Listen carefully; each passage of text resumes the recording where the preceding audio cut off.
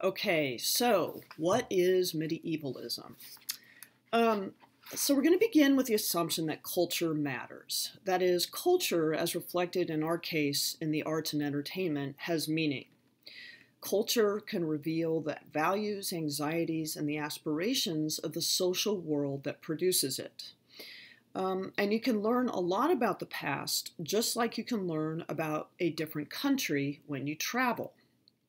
Um, the title of a famous book by David Lowenthal on how we use the past is called The Past is a Foreign Country. Why should we care? First, there's a pleasure, I think, basic intellectual curiosity because it's interesting. It's fun to travel um, for those of us who have been privileged enough to do it. Um, but second, I think learning about other cultures helps us to better understand or see our own, um, which, because we are steeped in it in our own culture, often simply seems natural. So, the modern world, that is, since the 18th century, has been interested in the Middle Ages, which run from approximately 500, end of the Roman Empire, to 1500, um, the age of print, basically, um, often defining itself in contrast to that time period. Why the Middle Ages, um, as opposed to the Renaissance or the Enlightenment or the Romantic period, I'm not really sure, and maybe we'll figure it out in the course of this um, class. Um, I think it's partly because of the great contrast of the Middle Ages. So sometimes the Middle Ages is seen as better than the modern world. That is, it's imagined as a simpler time with stable social hierarchies, little technology, and stronger community. People are imagined to have had a closer relationship with nature, or stronger morals, uh, or more religious conviction, or more passionate feelings. Sometimes the Middle Ages, though, is often seen as worse than the modern age. It's imagined as more casually violent, as diseased, unhygienic, superstitious, patriarchal. Um, Marcus Bull, which I'm asking you to read during this first week, gives a good overview in the introduction to Thinking Medieval about the various, really sort of contradictory images um, that we have of the Middle Ages. These images are not necessarily wrong, um, but they probably tell us less about the past than about modern concerns about what is good or bad, desirable or problematic, progressive or static in today's world. That is, our recreation of the past reveals more about what we value in the present than about life in the past. That is, we often project onto the past what we find lacking in our own world.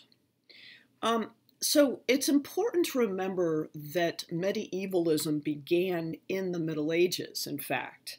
Um, Beowulf, the manuscript of Beowulf dates to about the year 1000. But the action in the poem, sorry, it's not COVID.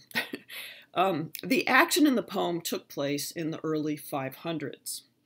Anglo Saxons in England in 1000 were looking back to the 500s in Scandinavia as a time that reflected their own aspirations and their own concerns. Um, if the historical Arthur existed, he would have lived around 502. That is, he'd be the same age as Beowulf, or from the same time period. He would have lived in England after the Roman legions withdrew and the Anglo Saxons had begun their migration or their invasion of the island. If none of this makes sense, I'll go over it again. Don't worry. Um, the earliest Arthurian romances um, by a guy who lived in France um, was writing about 700 years after the maybe historical Arthur. And the most famous, at least for English speakers, rendition of the Arthurian saga by Thomas Malory um, was written about a thousand years after Arthur's time period, that is around 1500, rounding up. Um, Malory used Arthur to basically comment on his own society, that is, on the Middle Ages. And we in turn use Malory's representation of the medieval past to reflect on our own age. And so this is just giving you a little idea of the architecture of the time. Uh, above me is usually what we sort of imagine, say, the Arthurian world to be like, right? Uh, stone castles, for instance.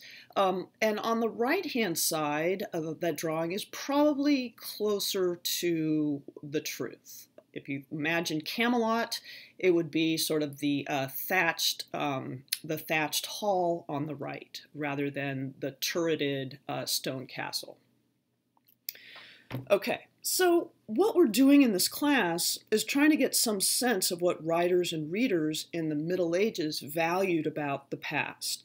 And in the process, we should get some sense of what they valued in their present or what they found wanting or problematic in their present.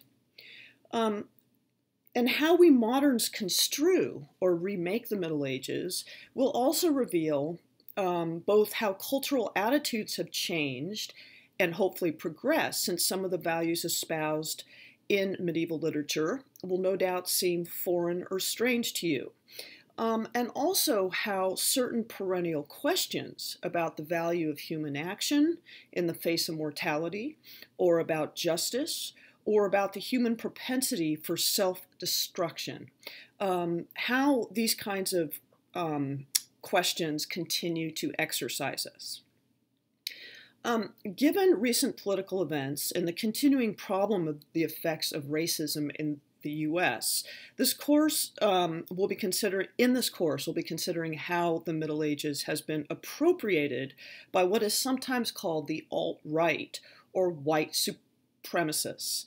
Um, and I'll address this issue in uh, the PowerPoint um, that you guys will be looking at for Thursday, um, medievalism and white nationalism.